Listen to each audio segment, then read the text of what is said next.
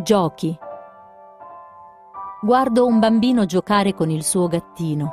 Lo coccola con carezze e bacini, lui lo ricambia con tanti ronfini. Miagola disperato solo quando il bimbo come un cavallo lo vuole usare.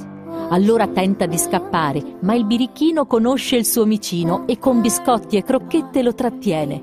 Alla fine, stanchi di giochi e moine, si addormentano beati sul divano.